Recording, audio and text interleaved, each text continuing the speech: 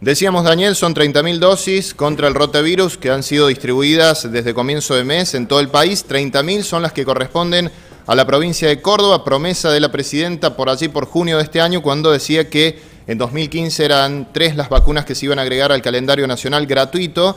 Y aquí vamos a ver alguna información de servicio que tiene que ver con dónde, cómo y cuándo se va a poder vacunar a los niños. Atención los padres, el objetivo es prevenir una de las principales causas de la diarrea aguda, el rotavirus, y tener en cuenta que esto puede producir la muerte. El lunes 5 de enero comienza la aplicación, es gratuita, tenga en cuenta ese dato. Se aplica a niños de dos meses y solamente se puede esperar hasta los tres meses y medio. Cuando pasa esa edad ya es tarde y la vacuna no se puede aplicar. Son dos dosis, la segunda se aplica de los cuatro a los seis también en cronograma obligatorio. Hay que concurrir de esta manera dos veces, a los dos meses y a los cuatro meses. ¿En dónde se va a aplicar la vacuna?